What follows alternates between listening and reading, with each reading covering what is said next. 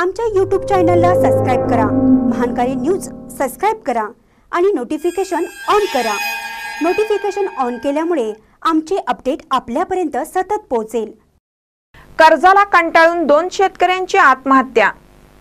आत्नी तालुक्यातील हुलगबाळी आणि हल्ल्याळ गावातील दोन शेतकऱ्यांनी कर्जबाजारीपणाला कंटाळून आत्महत्या केली आहे. हल्ल्याळ येथील संजय बसय्या मडद या पंचेचाळीस वर्षीय तरुणानं तर हुल्लगबाळी येथील बत्तीस वर्षीय हनुमंता भूताली नाईक अशी त्यांची नावे आहेत. मठद यांनी पीकेपीएस संघातून सत्तर हजार बँकेतून एक लाख पन्नास हजार आणि उसनवार दोन लाख असे चार लाखांचं कर्ज घेतलं होतं. या विवेचनचा विवेचनाला कंटाळून पत्र्याच्या घरात गळपास घेऊन त्यांनी आत्महत्या केली. हुलकबाळ येथील नाईक यांची एक एकर जमीन असून बँक आणि सोसायटी यांचं पाच लाख सत्तर हजार रुपयांचं लोन होतं.